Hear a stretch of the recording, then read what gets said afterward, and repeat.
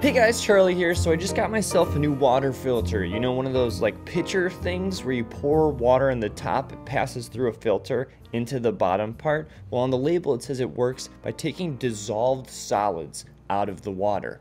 But what does that actually mean, right? So you know you got three states of matter, solid, liquid, and gas. Well, some solids can be dissolved in liquids, like for example, salt, that's a solid. And if you like drop a little of it in some water, which is a liquid, and stir it up real good, the salt kind of disappears. But what's actually happening is it's just mixing into the water. It becomes dissolved. It becomes a dissolved solid. So if you put some of that salty water into my new filter thing, it would remove the salt from the water. But this made me wonder what other dissolved solids are in the things I drink, you know? Like what would happen if I put other liquids into my water filter? So let's figure it out. Wonders with Charlie. Hey there. Wonders with Charlie is created in partnership with Wonderopolis.org, a website by the National Center for Families Learning, and supported by subscribers like you. So thank you.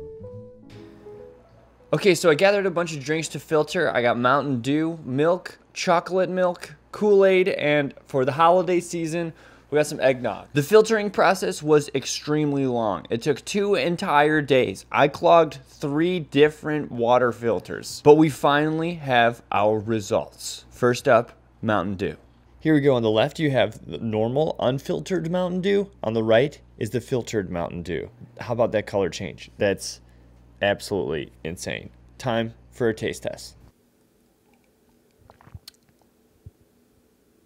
It took everything out. It tastes like water. It doesn't taste like anything. Every flavor is gone. All of the color's gone. The smell is gone. The fizz is gone. It's all gone. That tastes like water. That tastes like straight up water. Wow. All right, next up we got Kool-Aid. This is one that's going to be interesting because um, to make Kool-Aid, you dissolve a bunch of solids, the Kool-Aid powder, into water. And because this filter removes all dissolved solids, it might be able to reverse make Kool-Aid and turn it back into water. So let's try it out. Here's the original Kool-Aid and here's the filtered Kool-Aid. This one kind of looks like the Mountain Dew, right? The color is just completely gone. Whoa! Ugh, it tastes really bad. Oh, this tastes like water with like a little something mixed into it. I feel like a lot of the cherry flavor is gone, but some of the like flavor components are still there. It tastes like a little chemically and maybe kind of like plasticky. I'm not sure, but something definitely came through in this one. That's crazy. Yeah. I don't like that one. Next up, we got milk.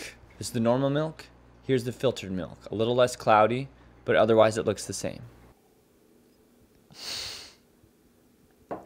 Oh.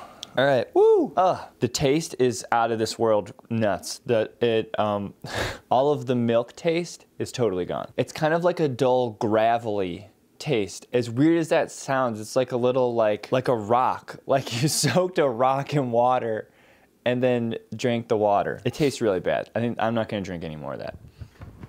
Next up we got chocolate milk. Here I wanted to to test to see if the filter could take the chocolate out of the chocolate milk. Here are the results. This is the normal chocolate milk, and here's the filtered chocolate milk. Mmm. That's not that bad. It's very, very sugary. It's not super creamy. It's really watery. It tastes like if someone put like this much chocolate milk in a full glass of water and then mixed it together and then you took a sip. It's still like a teeny bit chocolatey, but not as chocolatey as the unfiltered version. It just tastes like extremely watered down chocolate milk. Not bad, and definitely not as bad as the milk, which is really interesting. Finally, it's time to filter some eggnog. Here are the results. This is normal eggnog, and this is filtered eggnog, which is very clear. Wow, that's crazy. No color, no odor, not even a trace of uh, eggnog in that. It took out everything and it just left the water. Wow, that's amazing. So I thought this test was very interesting. You know, we were able to find out what sorts of solids are dissolved in our drinks. And it kind of seems to be the things that give them their colors and their flavors, right? Because those were the things that were removed when they passed through the filter. Oh! That's just a few things that I tried with my water filter, but how about you? Try filtering some other things and let me know what happens in the comments. Thank you so much for watching this episode of Wonders with Charlie, and I'll see you next time when I'm wondering something else.